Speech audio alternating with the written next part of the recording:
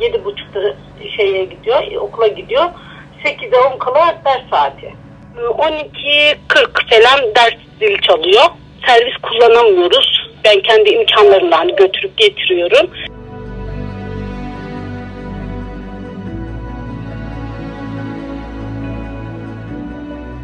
kontenjan sınıfta 35 kişi. Adrese dayalı olarak herkes almış ikametgahını 60 kişi. Diyor ki o zaman zaten 60 kişi burada gözüküyor. Ben alamayacağım 60 kişiyi. Kaç kişi alacağım? 35 kişiyi. E 35 kişiden de en çok bağış yapan kimse onu tercih edeceğiz diyorlar. Bunu açık ve net söylüyorlar yani. Aslında ilkokullarda, devlet okullarında yani eğitim ücretsiz. Kağıt üzerinde böyle ama fiilen böyle olmuyor. Öğrencilerin eğitim öğretim faaliyetlerini desteklemek için bir çalışma yapmak istiyorsa e, okul aile birliği bütçeleri kullanılıyor. Okul aile birliği bütçesi de velilerden toplanan bağışlarla oluyor. E, bu bağışlar tabi adı bağış olsa da bazen e, veliler için bir zorunluluk haline gelebiliyor.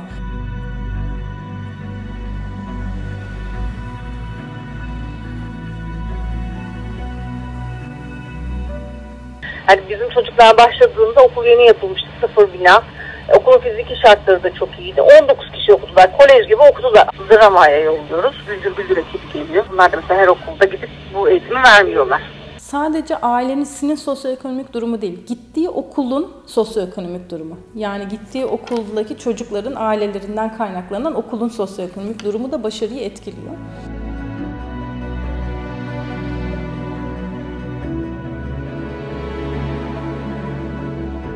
Yani mesela benim muhitimde olan bir ortaokul değil de başka bir ortaokula vermek istedim. Hani başka bir muhitte.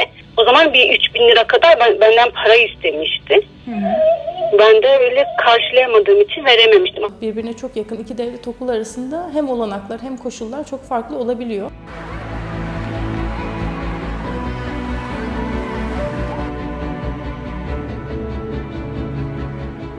İkili eğitim sistemi olduğu için zorlanıyor. Ee, sınıflarımız zaten yeterince kalabalık. Eğer Efe'yi ben bir devlet okuluna gönderseydim 44-45 kişilik sınıflarda ve yarım gün eğitim alacaktı.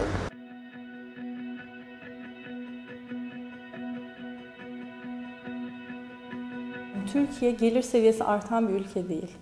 Kişi başına düşen gayri safi yurt içi hasıla artmazken özel okullara yönelim artıyor ve büyük bir harcama kalemi aslında. Demek ki bir endişe var bunun arkasında. Bu şekilde devam etmeye çalışacağız. Yani gücümüzün yettiği bir özel okula yine göndermek için elimizden geleni yapacağız. Daha ne kadar devam edebiliriz bilmiyorum ama elimizden geleni yapacağız. Çünkü artık böyle bir şans ben göremiyorum devlet okullarında. İyi öğretmenlerimiz, iyi dersler.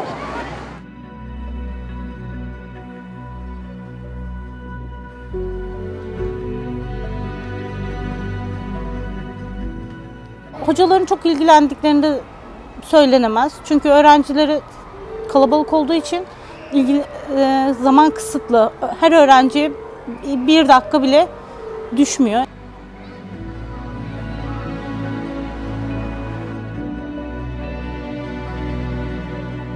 Özel ders aldırmayı düşünmedik. Çünkü ders sayısı çok yüksek özel derslerin. Saati 100 liradan başlıyormuş bildiğim kadarıyla. İki kişi çalışıyoruz ve zor yetiştiriyoruz. Özel bir ders almasına gerek duymuyoruz, ihtiyaç duymuyoruz. Okulun verdiği hafta sonu eğitimleri ve etüt eğitimleri yeteri kadar ihtiyacımızı karşılıyor şu anda.